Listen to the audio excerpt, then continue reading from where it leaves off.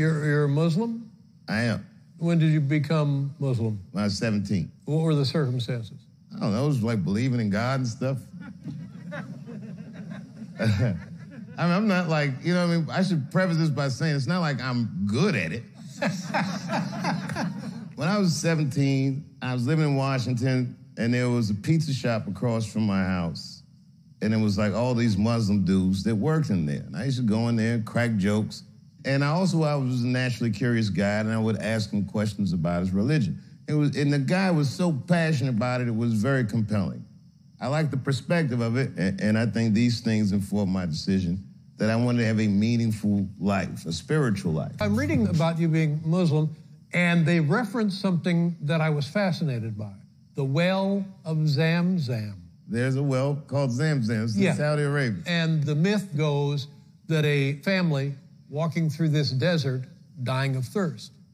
And this endless well presents itself. You and I could go see it. Right, so I could go see it. You'd Yeah. probably have to make some phone calls. Have, have you have you been there? I have. It's only welcome to Muslims. It's not a tourist location. No, nor should it be. The man is the prophet Abraham and his wife. The word Zamzam that you guys speak Arabic literally means stop, stop, because the, when it was uh, commanded that this well would appear, the water gushed forth so much that the wife screams, "You- you "Stop, stop!" because it was so overwhelming. And they say that it's an inexhaustible well.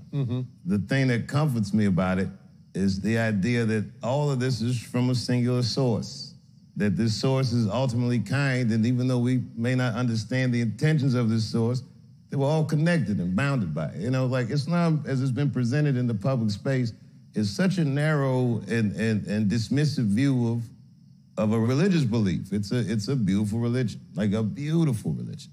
And the ideas in that religion are reflected in all the major Abrahamic faiths. You'll see these ideas in Christianity or Judaism, you know. But the idea is that this place does mean something. It's a place where you come to learn, where you come to know. You get here knowing nothing, you get a head full of shit, and then you, you go on. When the uh, current president says, uh, you know what, we're going to look into keeping Muslims out of this country, how does that make you feel when that happens? You don't expect necessarily that much empathy or compassion or cultural astuteness from a guy like that. What you're sad about is that the chair doesn't have more humanity in it.